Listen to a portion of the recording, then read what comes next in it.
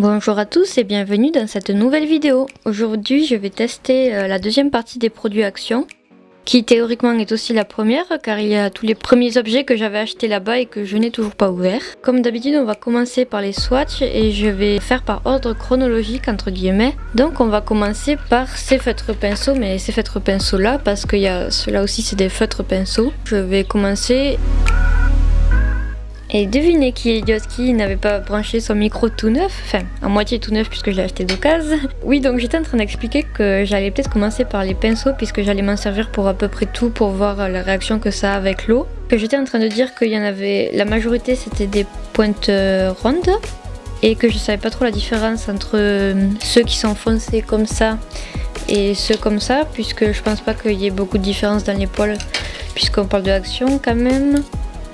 Il y a trois qui enfin, il y en a deux pointes plates et deux pointes carrées. Enfin, celui-là, il a l'air un peu euh, en angle. Oui, il est un peu en, angle, voilà. Et je, disais aussi qu'il y avait, que ça se voyait qu'ils étaient neufs puisqu'il y avait comme de la colle ou de la laque pour tenir les, fibres euh, dans l'emballage. Après, bon, euh, ça, ça, se voit que c'est pas de la qualité, mais je pense que ça fera très bien l'affaire. J'ai pas mal de pinceaux qui, bon, c'est pas des marques non plus et ça, je les aime bien quand même, donc euh, on verra. Ah, en parlant de pinceaux cheap qui sont bien, pour ceux qui ont des Jiffy à proximité, les, espèces de sets de pinceaux, il y a vraiment plein de pinceaux dedans à Jiffy, là où il y a aussi des embois mousse et tout. Euh, les pinceaux qui sont dedans, ils sont géniaux. Donc voilà, je vous le conseille euh, tant qu'à faire. Et maintenant, on peut y aller.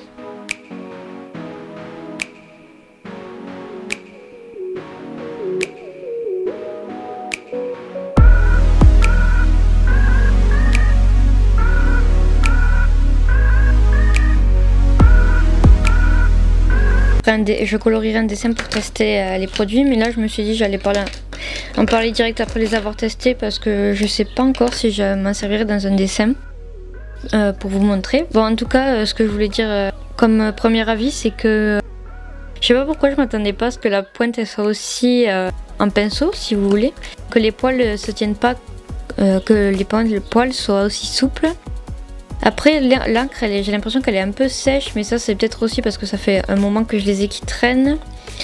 Mais euh, après, pour une technique un peu dry brush, ça peut être pas mal. Faire un pinceau sec comme ça pour faire des textures. Euh, bon, c'est vraiment pas de la qualité. Je pense que j'ai vu des astuces sur internet où vous pouviez laisser tremper euh, dans l'alcool à 90, je pense. Enfin, ça dépend si c'est à l'alcool ou à l'eau. Enfin bref, vous pouvez le laisser infuser, entre guillemets, pour que ça soit plus pigmenté.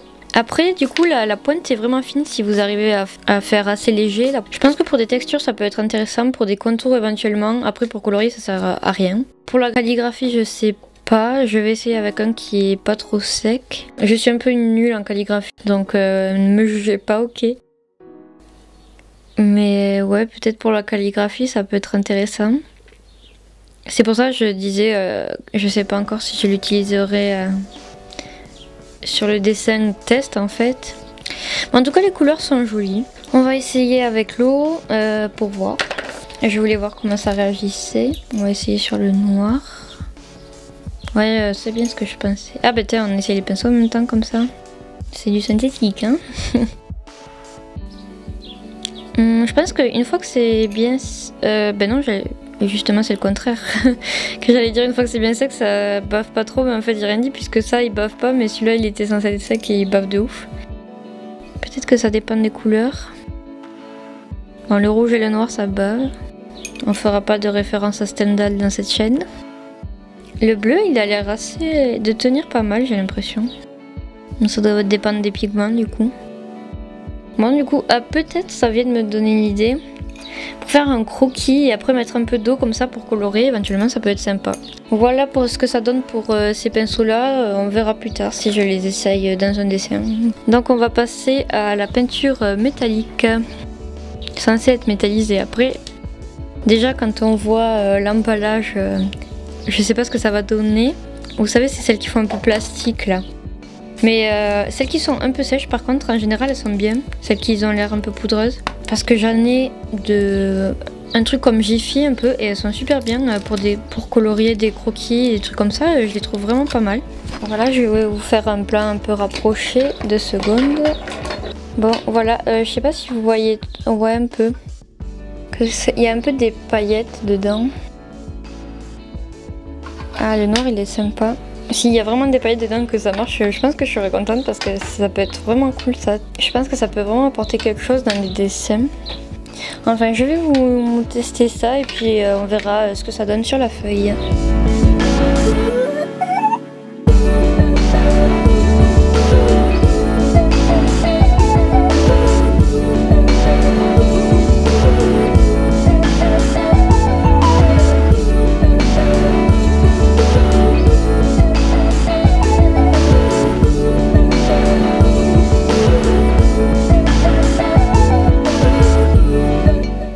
Bon, comme vous pouvez le voir, c'est pas fameux. Je m'attendais pas à des miracles, en tout cas niveau paillettes, mais niveau pigmentation, bon, j'aime pas les peintures comme ça à la base, mais je sais pas, je m'attendais à mieux. Finalement, c'est plutôt, on voit plus les paillettes que la couleur limite. Je vous montrerai quand ça sera sec peut-être.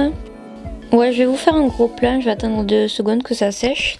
En attendant, je vais vous montrer peinture euh, Action que j'avais acheté, que j'ai eu l'occasion de tester, mais que j'ai pas, euh, que pas eu envie de faire une vidéo, j'avais juste envie de, de peindre pour moi. Euh, je vais vous les montrer de suite. Du coup, en cherchant, j'ai retrouvé ce bloc, ce bloc de papier aquarelle que j'avais acheté Action justement et que je voulais tester aussi. Peut-être que je te peindrai dessus parce que du coup vu que les peintures euh, je les utiliserai pas je pense. Je sais pas euh, pourquoi je vais l'utiliser celui-là. Surtout qu'il est très texturé. Mais derrière c'est lisse donc euh, s'il faut je retournerai. Et il est très très épais donc ça c'est positif. Donc comme côté négatif, bon à part la texture ça peut déranger certains, moi je pense que je m'en fiche. Pour la peinture j'en avais acheté deux types, j'ai acheté celle-là. Et ça se vend par lot de 5 je crois ou 4. En fait, je les ai pris pour faire le, acrylic powering. Je sais pas si vous connaissez, c'est quand on met toute la peinture acrylique dans un verre et qu'on renverse le verre sur la toile. Et ensuite, euh, on a acheté celle-là. Voilà, c'était en forme de fleur avec une palette au milieu. Et ça, euh, franchement, bonne surprise, les couleurs sont vraiment jolies, très pigmentées. Bon, le sachet est minuscule, enfin le tube, c'est de l'acrylique. Mais euh, ouais, si vous avez besoin de faire euh, une petite peinture ou quelque chose comme ça, enfin, quoi que j'en ai utilisé pas mal. Et le tube est pas trop vide. La peinture de tout à l'heure est sèche, je pense, donc on va regarder ça. Donc voilà pour la peinture. Bon, comme vous voyez, c'est pas du tout pigmenté, quoique j'ai l'impression que ça a un peu foncé en séchant. Et les paillettes, on les voit un peu de près, mais de loin, ça fait presque un côté nacré. Donc finalement, peut-être que ça peut être intéressant pour des détails ou, comme je disais tout à l'heure, pour de la calligraphie limite, pour donner un, petit détail brillant. il nous reste donc les feutres et euh, les feutres peinture.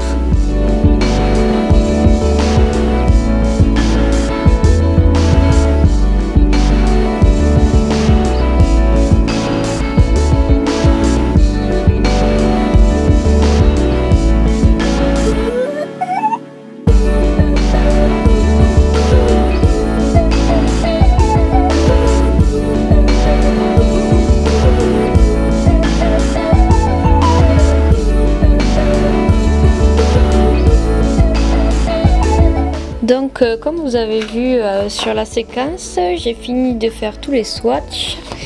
Je suis très agréablement surprise par les couleurs. Euh, comme les feutres alcool, j'aime beaucoup la, la, gamme de couleurs. D'ailleurs, les feutres alcool, je les utilise très souvent, donc je suis pas déçue par les couleurs puisque ça me semble être à peu près les mêmes.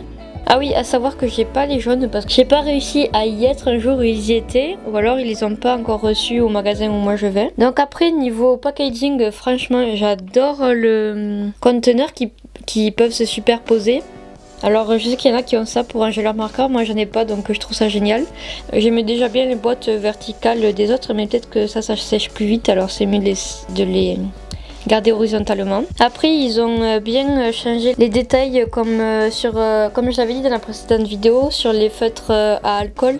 C'était très dur à fermer. là on n'a pas ce souci. Pointe, la pointe fine et la pointe pinceau elles sont différenciées. Il y a un trait gris du côté de la pointe fine et pas du côté pinceau. Celui-là il y a la mine, la mine qui est déjà un peu abîmée. Bon après moi ça m'est égal donc. Il y en a certaines dont la mine elle rentre comme ça.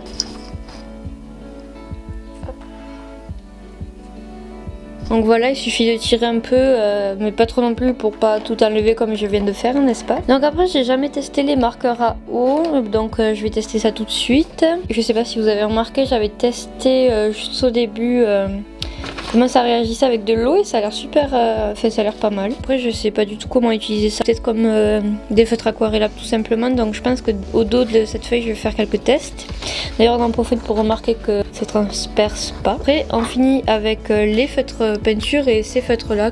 Voilà, j'ai donc ça se mélange pas mal, ça se superpose pas mal. Par contre je pense qu'il faut prévoir du papier assez épais parce que là ça enlève un peu des bourriches de papier. Et après avec l'eau ça donne un effet aquarelle, c'est plutôt joli.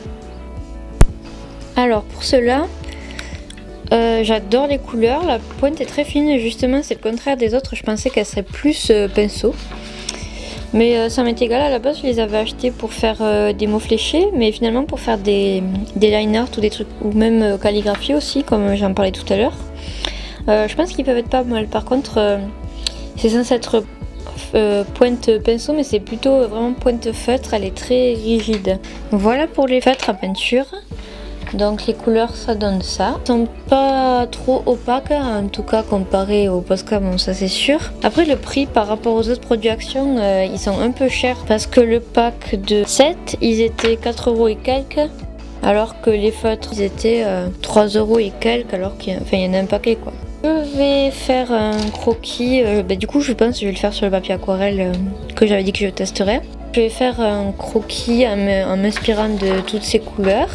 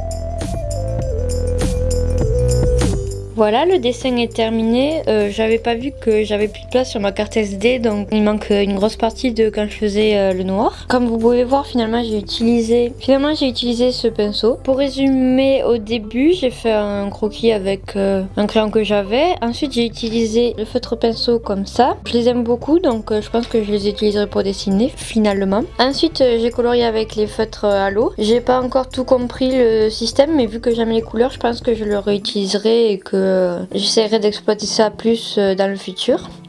Ah, j'ai oublié de dire que les pinceaux à eau, ils enlevaient vachement le papier. Euh, je pense que vous avez pu me voir euh, pendant le processus qui essayait d'enlever les bourriches de papier mais je sais pas trop comment contrer ça. Euh, le papier il a pas trop tenu. À part ça je pense qu'il est pas mal donc faudra réessayer avec de la peinture je pense que ça sera pas mal. J'ai fait des détails avec euh, ces feutres là, euh, ils sont un peu galères. La mine elle est parfois cassée ou pas assez longue pour atteindre le, baril de peinture donc je l'ai ouvert et j'ai fait couler la peinture direct dessus mais la mine elle absorbe pas trop donc c'est un peu galère. J'ai voulu faire un effet, je sais pas, j'aimais bien cette couleur donc je me suis dit oh je vais faire des contours avec et finalement j'aimais pas tellement.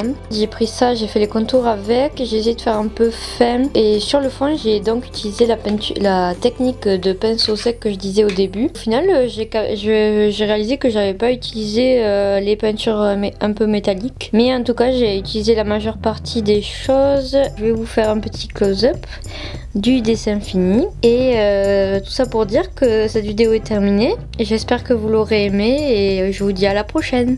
Adi chat